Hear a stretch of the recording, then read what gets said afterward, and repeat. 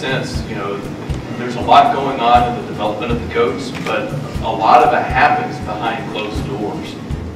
One of the trends that's also uh, uh, very uh, influential is it's changing is uh, thickness of glass.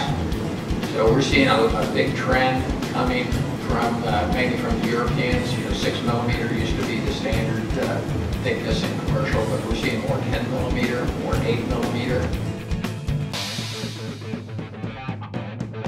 So we're starting Forel North America. It will be established in the Minneapolis-St. Paul region. Uh, it will be essentially a sales, parts, service, and support organization. So the whole plan is to get to the customer faster with a better quality product. So what we're doing is putting in a brand new equipment that allows us to process uh, faster, uh, quicker lead times to get to our product or get our products to our customers so they can win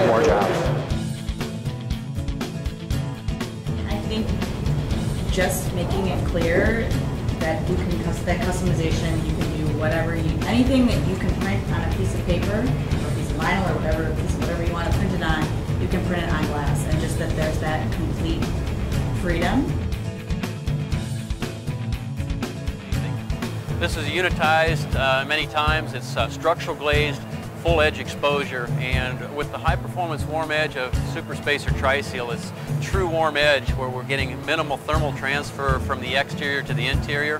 Uh, the product is well suited to handle this and it can handle all the heavy structural loads that are required in this type of application. We're pretty excited. Uh, it's been a great show for us. Uh, always interesting to launch some new products out there. One of the things that we've introduced here today is our Solarban 67 uh, coated product. It's, a, it's one of the newest in the Solarban line. Uh, very neutral, uh, double silver based, uh, very low solar heat gain coefficient,